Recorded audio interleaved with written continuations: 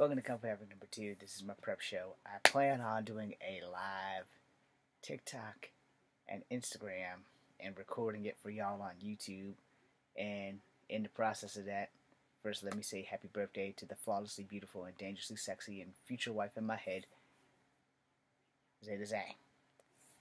Now that we got that out of the way, I plan on um, doing some martial arts demonstrations, and I plan on um, wrapping my bow. So, um, yeah, that was really clumsy. So I plan on wrapping my bow, and I plan on doing some martial arts demonstrations. I want to do it before the day's in or before the weather shifts. So hopefully I can get that done, and hopefully nothing and no one will get in my way.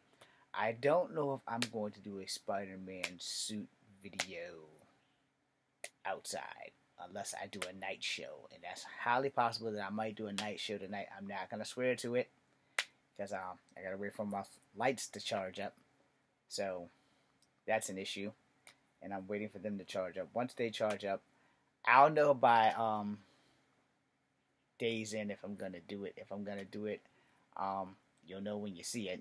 Same thing. If I'm gonna do it, I'm probably gonna do a live Instagram as well as TikTok and record it for y'all.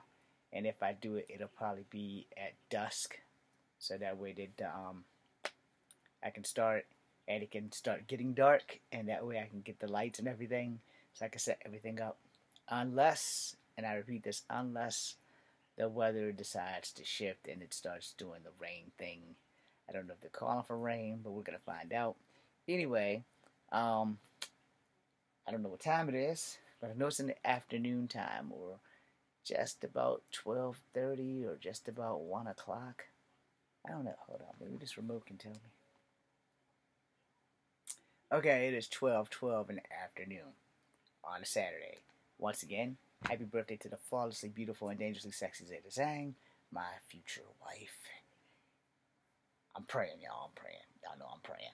Anyway, hey, miracles can happen, and I believe in miracles. But more importantly, I believe in y'all. And I'm also the king of the impossible. So, as much as that is impossible, many things are impossible until they're actually done. That is a quote from Mass Effect 2 or Mass Effect 3. I can't remember which one, but it is a quote, and I live by that shit. Because I am king of the impossible. That being said, I am your host, Echo Fan Grey Wolf. This is Kung Fu Havok number 2. See you in a couple hours.